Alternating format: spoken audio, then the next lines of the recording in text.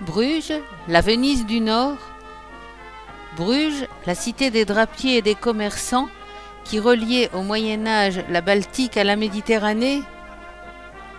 Mais aussi Bruges et ses légendes toujours vivantes.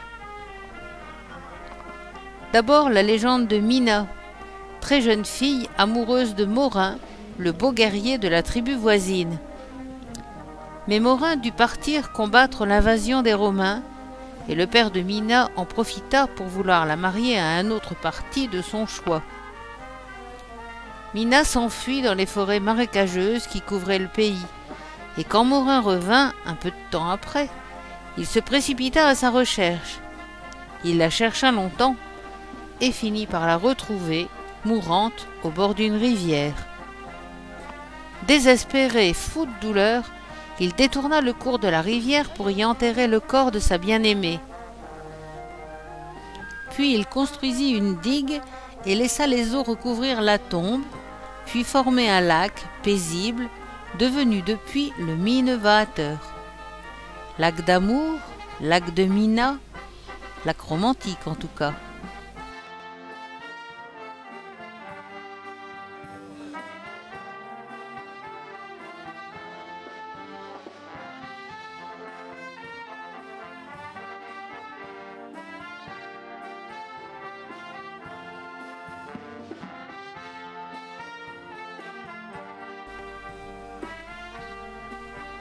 La chasse de Sainte-Ursule est une chasse peinte par Hans Memling en 1489 et l'un des joyaux du musée Memling de Bruges.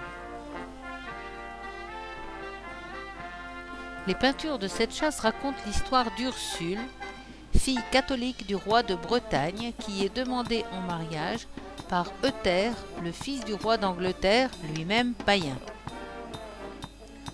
Ursule accepte à condition qu'on lui confie onze mille vierges et des navires pour faire en trois ans le pèlerinage de Rome.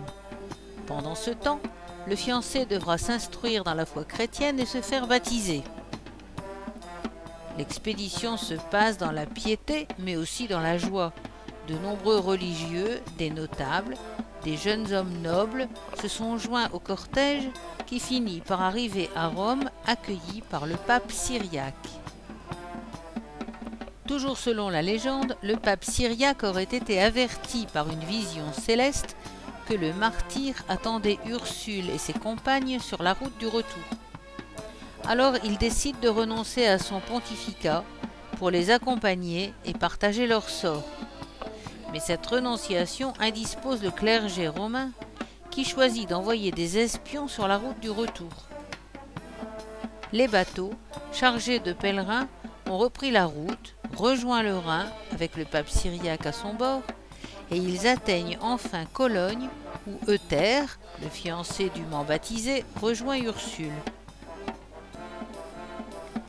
Mais bientôt, la ville est encerclée par des bandes de Huns déferlant de l'Est et massacrant tout sur leur passage. Les onze mille vierges, Euter et le pape syriaque furent tous massacrés, et Ursule, ayant refusé d'épouser le fils du roi des Huns, fut à son tour tuée par une flèche.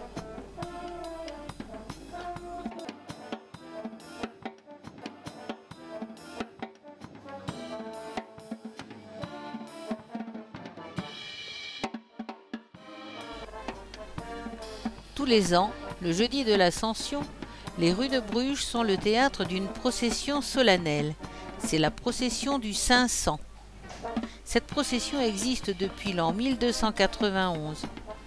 On y voit des tableaux vivants représentant des scènes de l'Ancien et du Nouveau Testament. On y voit des gens costumés, des cortèges de marchands, d'artisans médiévaux. On y raconte à la façon des mystères du Moyen Âge la légende de la découverte par les Templiers d'une fiole contenant quelques gouttes de sang du Christ trouvée dans sa tombe à Jérusalem. La légende raconte que Thierry d'Alsace, comte de Flandre, et sa femme Sibylle, alors présents à Jérusalem, avaient eu la vision de la Jérusalem céleste sous la forme d'une ville qui n'était autre que Bruges. Quand les Templiers découvrirent la Sainte Fiole, ils la firent escorter jusqu'à Bruges, jusqu'à la basilique du 500, où elle se trouve toujours. La liesse et la fête traditionnelle n'empêchent pas le recueillement. Et cette célébration spirituelle et rituelle a été reconnue en 2009 comme faisant partie du patrimoine culturel immatériel de l'humanité par l'UNESCO.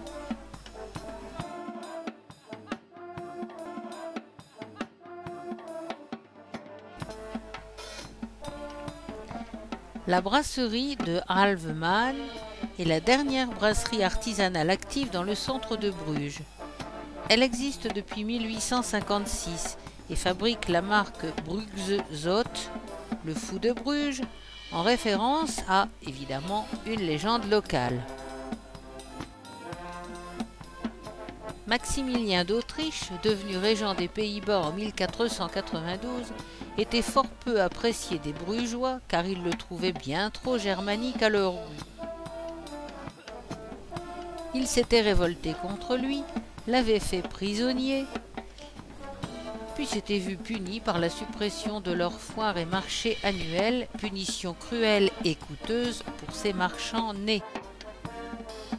Alors, pour contourner la punition, ils décidèrent d'organiser une grande fête en l'honneur de leur régent et lui demandèrent la permission de construire un asile d'aliénés.